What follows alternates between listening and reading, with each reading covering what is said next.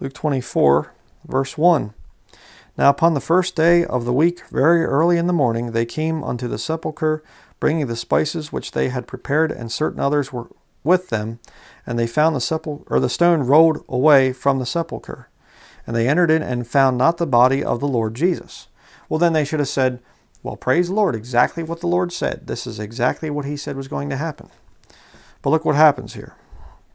Verse 4 And it came to pass, as they were much perplexed thereabout, behold, two men stood by them in shining garments.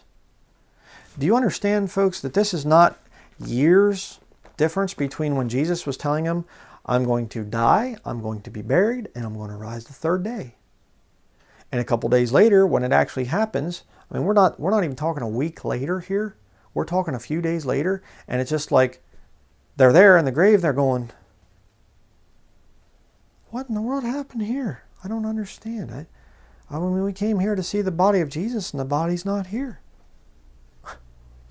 Within days of Jesus saying, "I'm going to rise from the dead," but they were looking forward to being saved by the cross.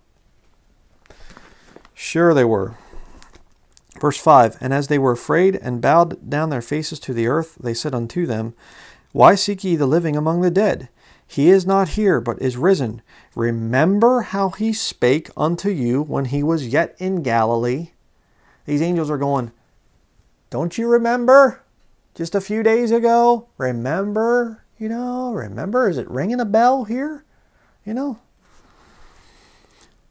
Verse 7 saying, The Son of Man must be delivered into the hands of sinful men and be crucified, and the third day rise again. And they remembered his words. Oh, yeah, you know, he did say that, yeah. and returned from the sepulchre and told all these things unto the eleven and to all the rest. It was Mary Magdalene and Jonah, or Joanna, and Mary the mother of James, and other women that were with them, which told these things unto the apostles. And certainly the apostles, you know, they were like, well, of course, you dumb women. Of course, you know, I mean, give me a break. We knew that. Right? Wrong. Read verse 11. And their words seemed to them as idle tales, and they believed them not. you know, uh, Jesus told them, they are like, no, I don't believe that. You know, three days later, and angels come and they say, do you remember what Jesus said? And they go, Yeah, yeah, we do remember. They go to the apostles and they're like, Hey, we saw angels. They told us the stuff that Jesus, you know, said was going to happen, happen. And the apostles are going, Oh, yeah, angels, you know, and I guess you saw the Easter bunny and Santa Claus too, you know. I mean, yeah, idle tales. Sure you did, ladies. Uh huh. You know. For the non dispensationalists out there that are saying, well, you know, I believe that they were saved, you know, this looking forward to the cross thing. What do you do with this stuff?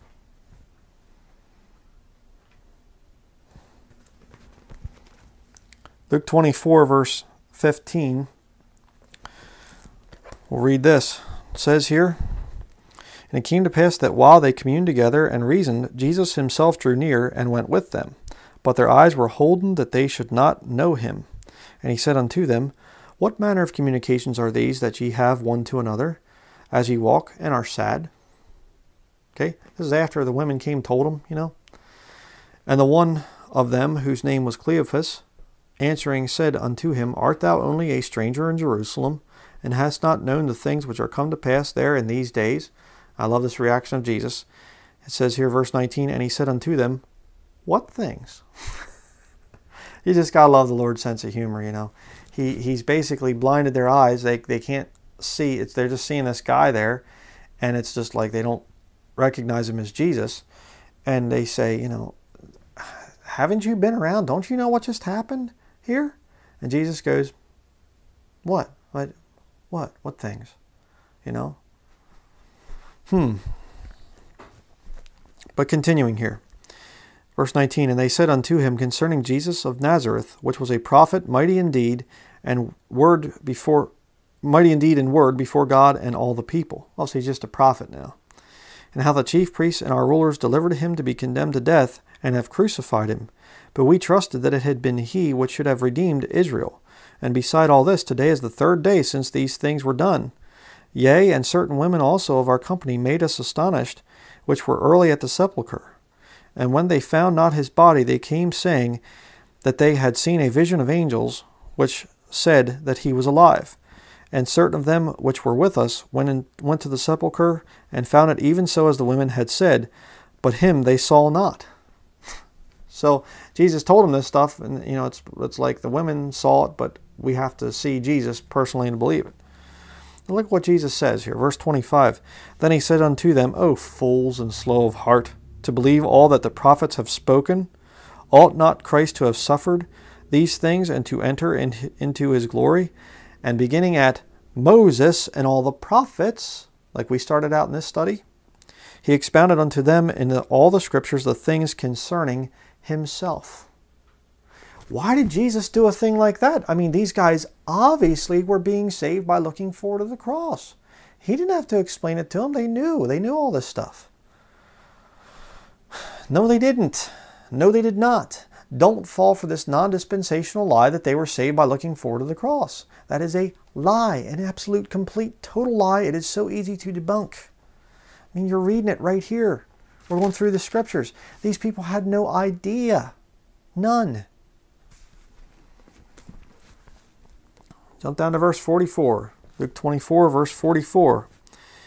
Then said he unto them, These are the words which I spake unto you while I, was, while I was yet with you, that all things must be fulfilled, which were written in the law of Moses, and in the prophets, and in the Psalms concerning me.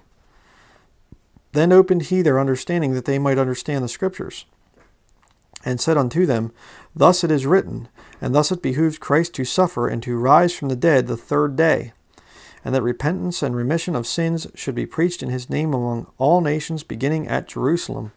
And ye are witnesses of these things. And behold, I send the promise of my Father upon you, but tarry ye in the city of Jerusalem until ye be endued with power from on high. So, there you see it. Jesus Christ is saying, okay, uh, you know, I'm going to explain it to you one more time here. You know, we're going to open the scriptures and I'm going to go through and I'm going to show you all the prophecies of the Old Testament. I fulfilled them all. Okay? Now stay here. I'm going to give you your orders, you know, for what's going on. You're going to understand here, you know, that I died on the cross and buried and rose again. And, you know, that's what's going on. John chapter 1, verse 29. You turn over there. You say, well, then nobody understood who Jesus Christ was. No, not necessarily. John chapter 1, verse 29 through 34 says here, The next day John seeth Jesus coming unto him, and said, saith, Behold the Lamb of God which taketh away the sin of the world.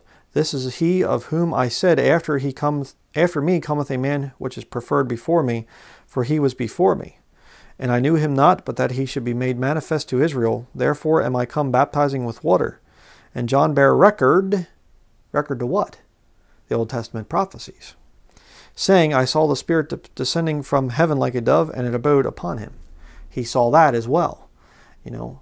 And so John, there being filled with the Holy Ghost, he was prophesying and giving and saying, you know, I'm the one voice of one crying in the wilderness, preparing the way of the Lord.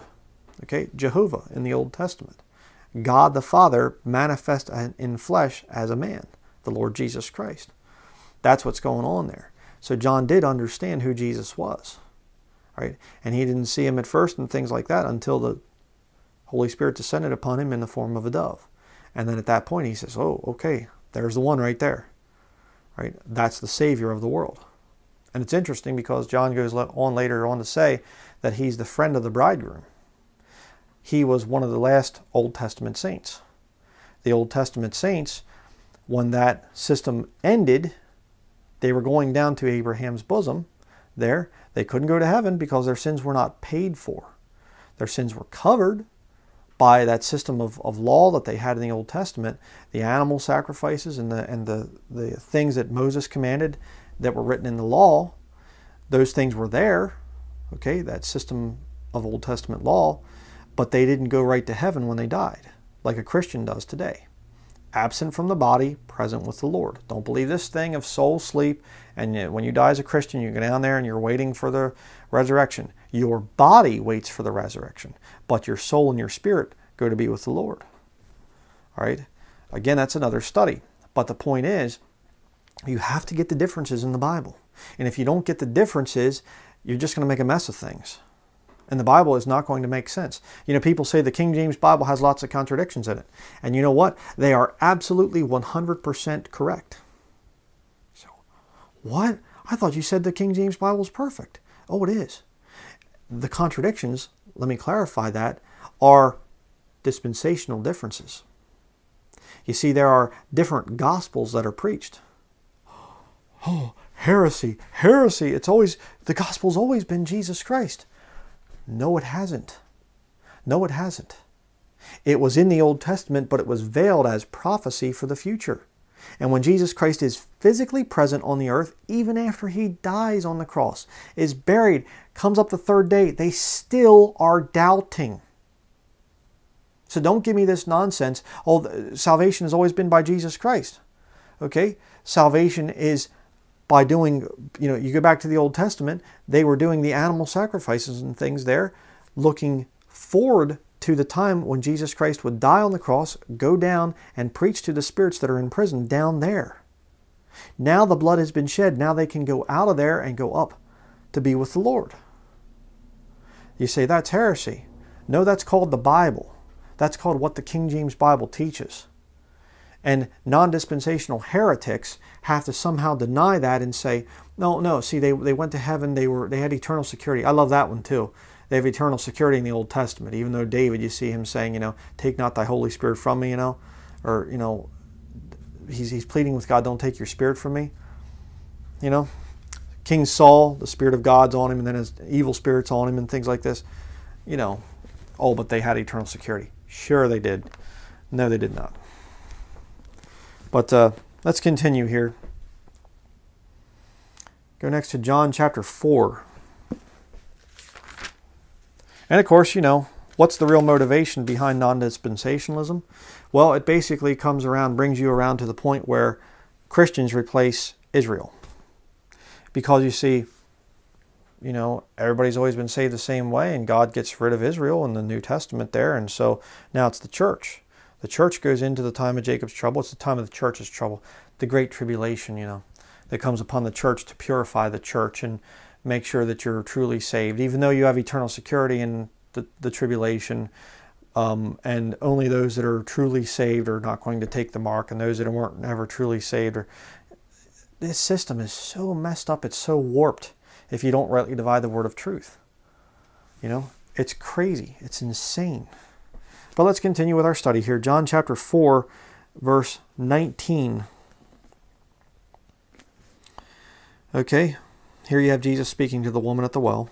It says here, The woman saith unto him, Sir, I perceive that thou art a prophet. And our fathers worshipped in this mountain, and ye say that in Jerusalem is the place where men ought to worship. Jesus saith unto her, Woman, believe me, the hour cometh when ye shall neither in this mountain nor yet at Jerusalem worship the Father. We, ye worship ye know not what. We know what we worship, for salvation is of the Jews. But the hour cometh, and now is, when the true worshippers shall worship the Father in spirit and in truth, and the Father, for the Father seeketh such to worship him. God is a spirit, and they that worship him must worship him in spirit and in truth.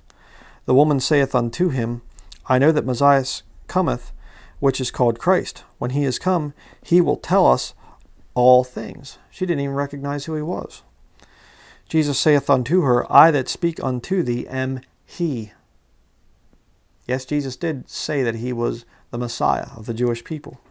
Verse 27 And upon this came his disciples, and marveled that he talked with the woman, yet no man said, What seekest thou, or why talkest thou with her? The woman then left her water pot, and went her way into the city, and saith to the men, Come see a man which told me all things that ever I did. Is not this the Christ? Then they went out of the city and came unto him. Okay? She knew that there was a prophet coming, but the fact is, Jesus had to explain things to her. Why? If she's looking forward to getting saved by the cross, you know, and all this other stuff. See? Again, it doesn't work. Next, go to John chapter 6.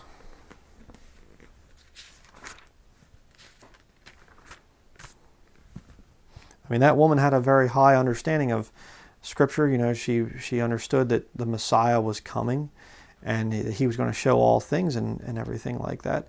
But even she did not quite understand, you know, that he was going to have to die. She was looking at it as he's going to come and restore the kingdom. And it's going to be Jerusalem there, the city of the great king. Right? She didn't quite understand that he was going to die on the cross. So, John chapter 6, verse 51 says here, I am the living bread which came down from heaven. If any man eat of this bread, he shall live forever. And the bread that I will give is my flesh, which I will give for the life of the world. The Jews, the Jews therefore strove among themselves, saying, How can this man give us his flesh to eat? Then Jesus said unto them, Verily, verily, I say unto you, except ye eat the flesh of the Son of Man, and drink his blood, ye have no life in you. Whoso eateth my flesh and drinketh my blood hath eternal life, and I will raise him up at the last day. For my flesh is meat indeed, and my blood is drink indeed. He that eateth my flesh and drinketh my blood dwelleth in me, and I in him. As the living Father hath sent me, and I live by the Father, so he that eateth me, even he shall live by me. This is the bread, this is that bread which came down from heaven, not as your fathers did eat manna, and are dead. He that eateth of this bread shall live forever. These things said he in the synagogue, as he taught in Capernaum. Many therefore of his disciples, when they had heard this, said, This is an hard saying, who can hear it? When Jesus knew in himself that his disciples murmured at it, he said unto them, Doth, doth this offend you? What and if ye shall see the Son of Man ascend up where he was before? Is it, it is the Spirit that quickeneth, the flesh profiteth nothing. Again, you can watch the study about the Mass thing. The Catholics, they take this to mean that you actually have to eat and drink the blood, and flesh and blood of Jesus, literal flesh and blood, which is nonsense. Uh, verse 63 The words that I speak unto you, they are spirit and they are life. But there are some of you that believe not, for Jesus knew from the beginning who they were that uh, who they were that believed not, and who should betray him. And he said, Therefore said I unto you, that no man can come unto me except it were given unto him of my Father. From that time many of his disciples went back and walked no more with him. Then said Jesus unto the twelve, Will ye also go away? Then Simon Peter answered him, Lord, to whom shall we go? Thou hast the words of eternal life. Why did the other disciples leave him? Because they didn't understand what Jesus was trying to signify there. Jesus was not saying to them, You have to eat my literal flesh and drink my literal blood. He wasn't saying that. He was saying, I'm going to die as a sacrifice to pay for your sins one more time. if they were saved by looking forward to the cross, don't you think they would have understood? Don't you think that they would have been like, well, oh yeah, oh yeah, yeah, yeah, I got it there, Lord. Yeah, sure, I got that. But they didn't. Now we're going to go to John chapter 10. John chapter 10, verses 1 through 6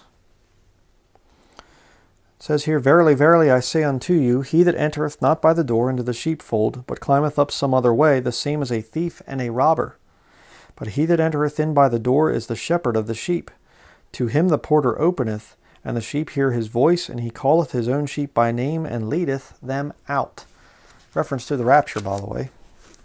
Verse 4 And when he putteth forth his own sheep, he goeth before them, and the sheep follow him, for they know his voice.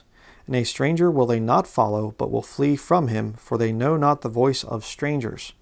This parable spake Jesus unto them, but they understood not what things they were which he spake unto them. Hmm, you see it there again. Jump down to verse 14. I am the good shepherd, and know my sheep, and am known of mine. As the Father knoweth me, even so know I the Father, and I lay down my life for the sheep. And other sheep I have, which are not of this fold, them also I must bring, and they shall hear my voice, and there shall be one fold and one shepherd. Therefore doth my Father love me, because I lay down my life, that I might take it again. No man taketh it from me, but I lay it down of myself. I have power to lay it down, and I have power to take it again. This commandment have I received of my Father. There was a division, therefore, all, again among the Jews for these sayings. Why?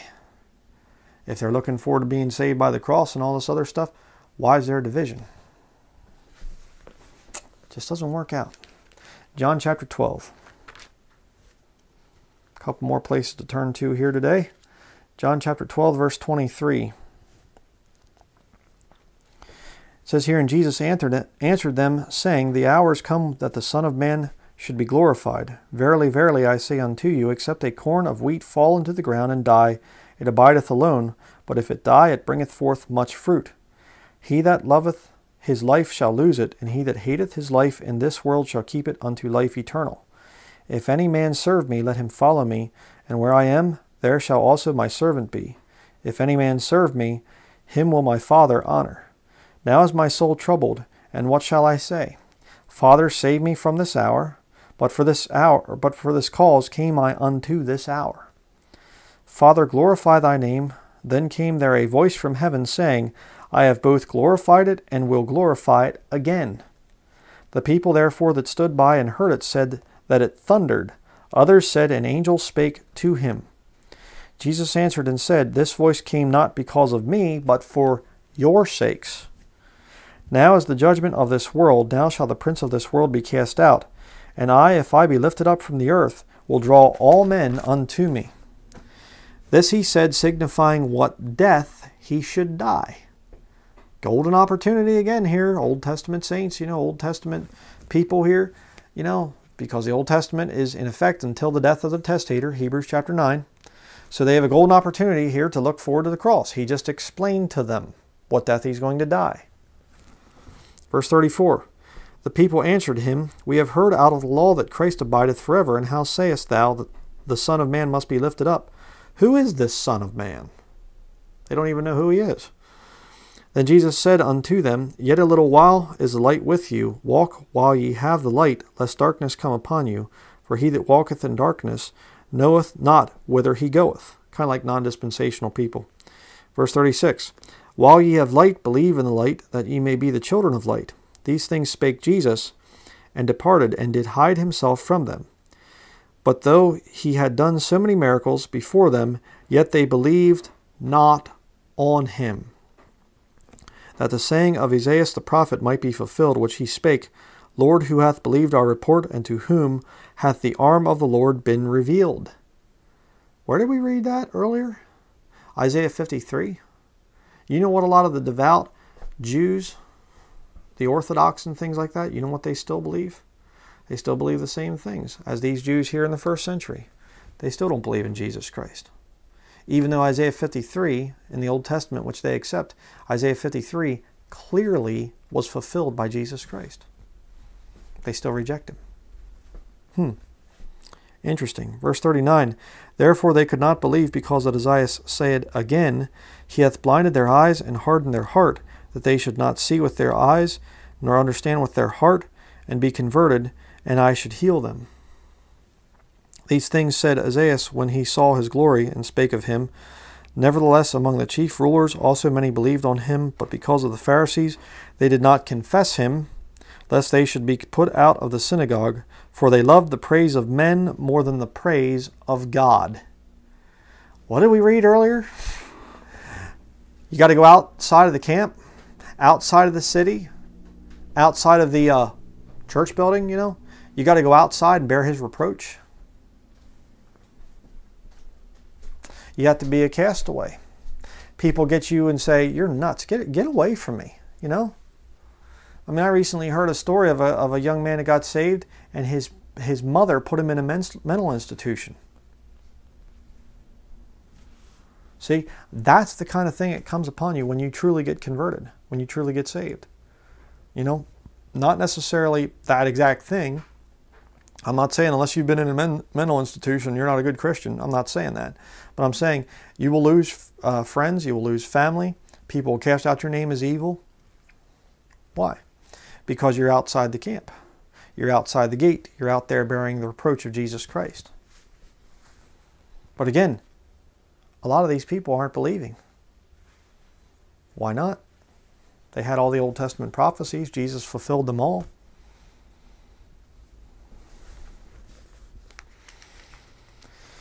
All right. Ephesians chapter 3.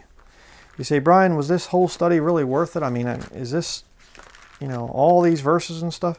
Well, of course, it's good to go through the scriptures. You know, it's it's good to stay in the Word of God. The things that are written aforetime are written for our learning. You know, I understand that. The Old Testament's there so that we can understand things today in the New Testament. Uh, that certainly is there. But you know, there's a lot of simple instructions that you have for a Christian right in the Pauline epistles, the epistles that are written to you as a New Testament Christian. And they're just written there. They're right there, plain English, simple, plain English, like 2 Timothy 2.15, a command to rightly divide the word of truth. And all you got to do is just obey. Just submit to what Paul has written here and say, you know what? This is written to me. Paul's the apostle of the Gentiles. I'm a Gentile believer. You know, I'm a Christian. You know, the Bible talks about there's neither Jew nor Gentile. We're all one in Christ. So even if you are a real true Jew according to the flesh, you know, you're still a Christian, so you still go with the Pauline epistles. And you know, you just read the Pauline epistles and do what it says there and believe it as it stands. But see, non dispensational heretics have to go and steal things from other parts of the Bible because that's what they do. That's why, like I said before many, many times, the non dispensational heretics, almost every single one I've ever run into, every single one believes in replacement theology. All of them. They all believe that they take the promises of the Jews. I mean, I'm reading, I'm studying Jewish culture right now, reading some books on them and stuff like that. I feel humbled. I feel humbled to be born into this system. Salvation is of the Jews. The oracles of God are written by the Jews. This is a Jewish book. My Savior's Jewish. Okay, he's going to rule from Jerusalem one day. You know?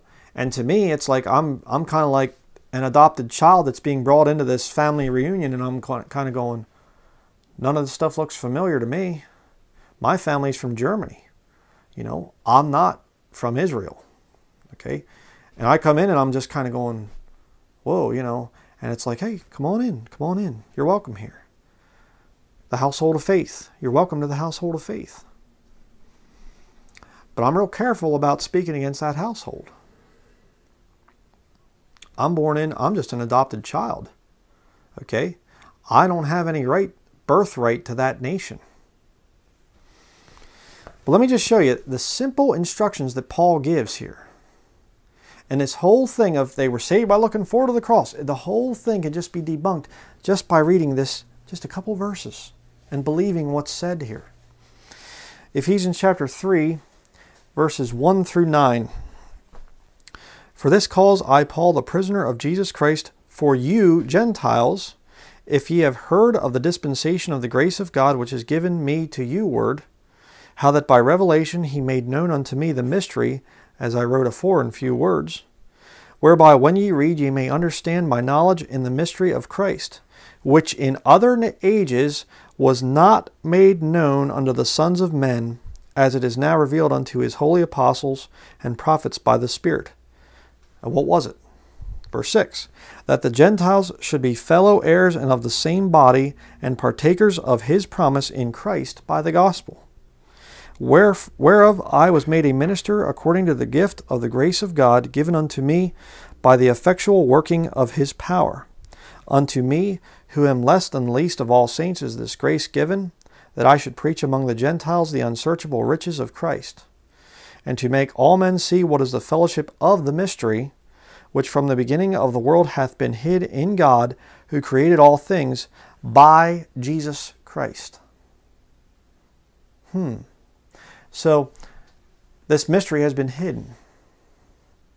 We can, you see, we have a great benefit here. We, we have the King James Bible. If you're English speaking, you know, Schlachter 2000, or some people try to, you know, say with the Heilige Schrift, uh, you know, for the German people, or there's some other, you know, different editions and things out there for your language. Uh, if you know, make sure it's conforming here and and things like that. This has been a standard. The Lord has proved for over 400 years now. But the fact of the matter is, we have a tremendous benefit that we can actually look back at these Old Testament prophecies and we can say, oh, yeah, look at that. Isaiah chapter 53, and look at there Psalm 22, and look at in the book of Genesis. And we can see this, and we can see, and it's all leading up. That mystery, we can look back now and we can see that mystery was there, but it was hidden from the people in the past.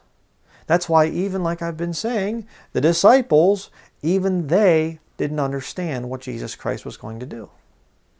Even they didn't get it. And see, the gospel that we have today was revealed to Paul.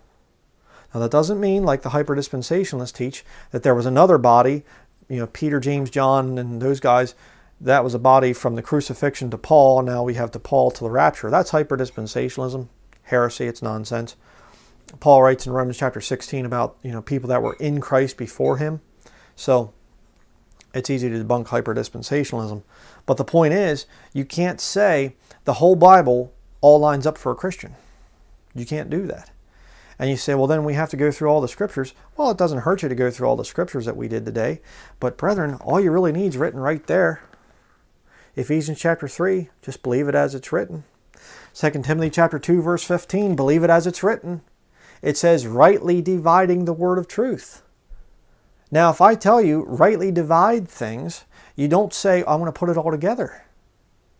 You know, I mean, back when we moved in here to the ministry headquarters, we had lots of boxes of books.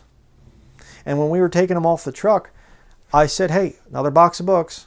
Or my wife would take a box out and she'd say, hey, another box of books. Where are we going to take it? Well, I think I'm going to take it down to the basement over near the sump pump.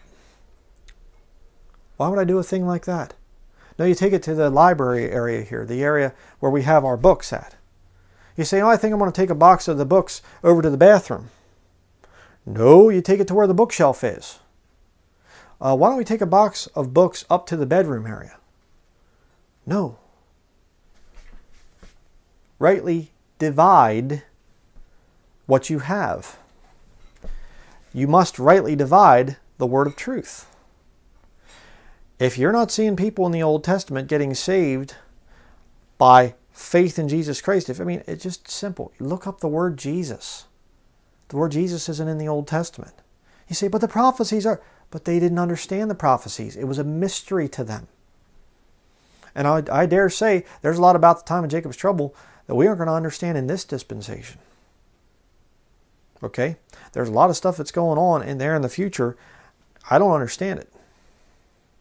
You know, oh, Bryan Denlinger, the great Bible scholar, and all this other stuff. Hey, man, there's a lot of stuff about this book I don't get. I don't understand. Why? the whole thing's not written to me. There are parts of this book that are not pointed doctrinally at me. Instruction in righteousness, yes. I can take this Bible and I can learn, I can be corrected from it, I can, can use it for reproof, for correction, for instruction in righteousness. That's true. But you have to be very careful about doctrine.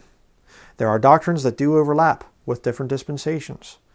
God is always good, the devil's always evil. Saved people go to heaven, lost people go to hell. That's never going to change. Okay? That never goes. That's never going to change. All right. But what I'm saying is there are other parts of this book you have to rightly divide. And when you refuse to do that, and you, you have to start making up lies, like people were saved by looking forward to the cross. But all you got to do to debunk that is just read and believe what you see here in Ephesians chapter 3. All right? It was a mystery. It was first revealed to Paul. One other place, 1 Corinthians chapter 2.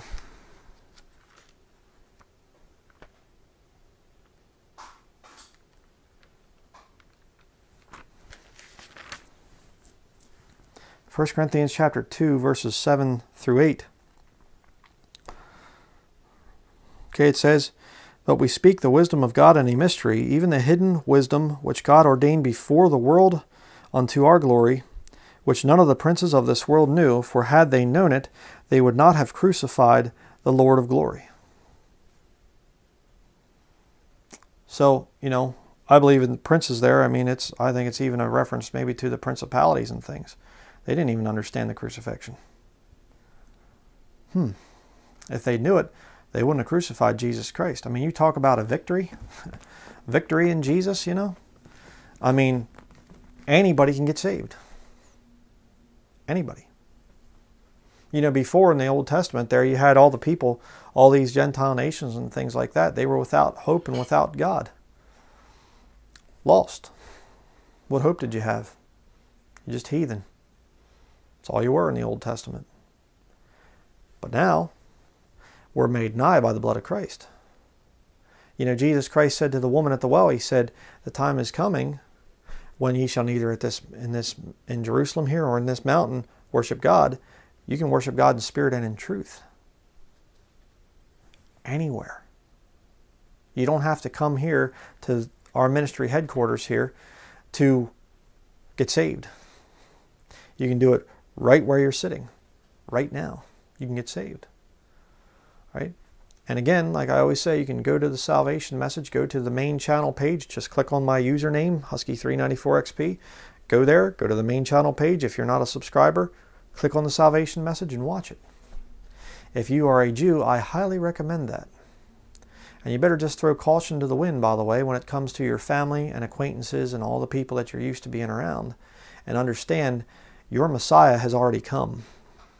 He already fulfilled those Old Testament scriptures and you say, well, I don't think I, I just, I don't feel like I should believe in that stuff. Okay, then you're going to go into the time of Jacob's trouble. And you are going to wish that you had not been born if you go into that time. And my, more and more as I get older in the Lord and I, I, I have, uh, there's a burden building within me to, to get this truth to the Jewish people. I'm very, very, very um, worried for them because I know that a lot of them are going to get killed in that time of Jacob's trouble. It's going to be a bad time. It's going to be a very bad time. And the best thing that you can do right now is accept Jesus Christ as your Messiah, as your Lord, as your Savior. Okay? So, that is going to be it for this study. I've been wanting to put this one together. Another another one that I get a question about occasionally. And again, I can now I have a sermon, I can point people right there, go to that one. You know, and, and again, I, I really do appreciate my viewers. A lot of times I see you saying, here's a sermon, you know, on that subject, and I'll see you guys putting links into my different studies. Uh, that That's a, a tremendous help to me. Uh, we're not all called into this ministry of preaching the word and, and spreading, you know, all this stuff and, and everything, you know, and that's fine. Um, totally fine. But we can all do our part. And I, I need people to come alongside and help me in the ministry. And, and you see people that are, you know, putting in questions and stuff like that. And, you know, it, it sometimes it's very hard to understand the spirit behind a comment. Sometimes you get somebody and it looks like they're trying to be arrogant and they're just really asking a question. They just don't really word it all that well. And, you know, we have to be somewhat patient. Now, I, I, mean, I realize that there are some people that are just evil and wicked, and they're just on here just to cause strife and division. And uh, I'm a little bit nasty with those people a lot of times. And I usually try to practice the, the, the rule there in Titus chapter 3, verses 9 through 11, I believe it is, where it talks about, you know, man that is a heretic after the first and second admonition reject. You know, I try to do that. Two admonitions, and then I'm done, is what I usually try to do. But, um, you know, these non dispensational people, uh, it's just, it's a real problem. It's a, it's a very big problem. I mean, they are openly rejecting portions of Scripture, they are openly rejecting commands to rightly divide the word of truth. And as a result, they make a mess of the Bible.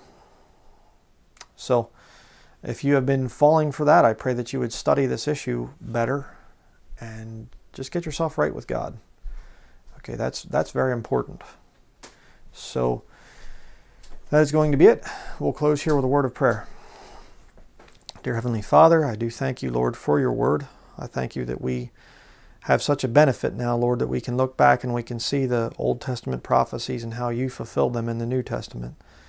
I thank you for that, Lord. I thank you for dying on the cross to pay for our sins and that uh, we can be saved, Lord, by simple faith in that shed blood. And uh, you just take away our sins, Lord, and, and just wash them clean, and you give us a brand new life. Uh, what a blessed thing, Lord, to, to know that, that you took our transgressions, Lord. You were, you were whipped, you were bruised, you were spit upon, you were mocked. And you just you took all of that and you gave us, took away our the filthy rags of our own self-righteousness and, and gave us your your pure, clean record. And uh, we can start over again. I thank you for that, Lord. I thank you for being that Passover lamb, that blood, that perfect blood that was spilled, the lamb without blemish and without spot. Thank you, Lord, for fulfilling the Old Testament. And I do pray, Lord, that if there are any of your people, your chosen people, the Jewish people listening, I pray, Lord, that you would prick their conscience and help them to understand that, that you did fulfill the Old Testament laws and, and the Old Testament prophecies. And I just uh, pray that they would come to you as their Savior. And I just ask all these things in the name of our Lord and Savior Jesus Christ. Amen. All right. Um, I've been uh, doing, like I said, I've been trying to research more of the Jewish culture, the Jewish ways and things, and find some very interesting things. Definitely making more sense some of the stuff I've read in the Bible uh, when you study the Hebrew customs and things like that. And it's interesting because, you know, there again, you get a lot of these replacement theology people, and they will pick on um, more of the liberal modern sects of Judaism, but they'll stay away from the ultra orthodox or the ones that are really say the Bible alone. We don't we reject the Talmud; it's not scripture. We reject um, some of the other traditions and things like that, the Kabbalah, you know, mystical Judaism, and things like this. You know, they'll they'll kind of ignore that and they'll say, well, see, Jews are wicked because there's some here that practice mystical Kabbalism, you know, or whatever uh, that's ridiculous. That's kind of like writing a book about Christians, and including liberal Methodists and Presbyterians and Lutherans and Catholics. I mean, with Bible believing Christians, and saying, "See, that's Christianity. That's why I reject Christianity." That's stupid. Okay. Um, there are a lot of Jews out there that are very orthodox, that uh, hold to the Old Testament as their standard for all matters of faith and practice. You know, do they believe in Jesus Christ? No, not yet. But uh, they will in the future. I believe many of them are going to get saved. But uh, they're not, you shouldn't include them into the more liberal Jews and a lot of these people that just, you know, don't even really hold the Bible in much of an authority anymore. Um, not a fair classification. So I do have some studies planned on that. Um, I've been getting some good stuff together, uh, some rabbis and things like that uh, that have said that Jesus did not fulfill the Old Testament prophecies, and they're giving scripture and they're, and they're trying to debunk the thing of Jesus fulfilling the scriptures. And why does this New Testament verse in the it's saying that it was fulfilled, but in the Old Testament it reads differently? Another big mistake that it, a lot of these Jews make is they confused first coming and second coming passages. They a lot of times will lump in second coming passages in with first coming passages. And they say this is all supposed to happen when Jesus showed up on the earth you know, or when their Messiah, excuse me, when their Messiah showed up on the earth. No, it doesn't work that way. You have to rightly divide. Say, you have to go back in there and you have to say, no, wait, this was the first coming.